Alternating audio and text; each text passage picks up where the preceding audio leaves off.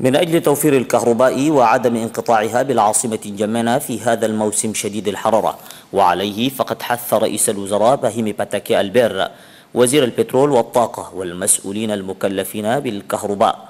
أخذ كافة الاحتياطات من أجل توفير الطاقة الكهربائية لكافة المواطنين.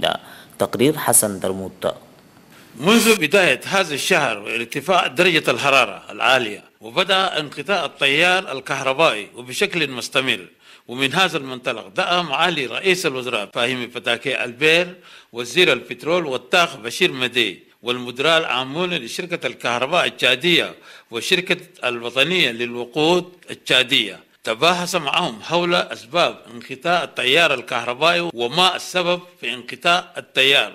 مؤكدا رئيس الوزراء أن الكهرباء باتت من الأسباب الأساسية والضرورية في حياة المواطنين.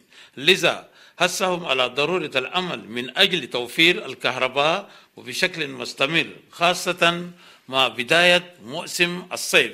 وأقبل اجتماع وزير البترول والطاقة بشير مدي تحدث عن الاجتماع قائلا. الأمانة ده عشان مثل انتوا كل تعرفوه gouvernement يعرف كي دلساج جاي في نجامنا هسه ده أننا كل ولافنا بنار نار كما في ده يبقى لنا قاسم أربع وده بس لمنا بريم مينستر نادانا كله أننا من نصر لكن في كلام أنا نار ده ولمنا خلاص جايني أدلو كم على قال لمن ده خلاص بتم دلساج بتم يجي هو بريم مينستر أورانا كي نار ده نانتو إنرجي يبقى مثل أول بس كلام كوبير ده حكومة ما دور بتم يا سما.